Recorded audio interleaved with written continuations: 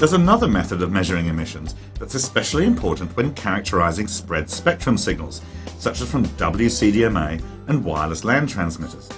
And that's where we measure the power of in-band and out-of-band emissions in specified frequency bandwidths at specific offsets relative to the total carrier power.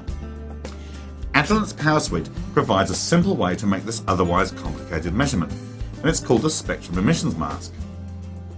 The spectrum emissions mask automatically measures the spurious signal levels in up to six pairs of offset frequencies and relates them to the carrier power.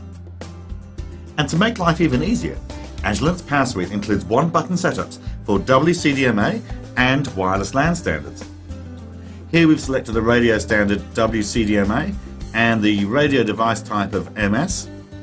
And the live spectrum trace is shown in yellow, with the absolute limit shown in blue and the relative limit shown in pink. And at the bottom of the screen, you can see we have for each of the six frequency offset bands, we have the absolute value shown in dBm and the delta value for the lower and upper limits shown in dB. And even gives you a pass-fail indication to confirm whether your transmitter meets the required standard.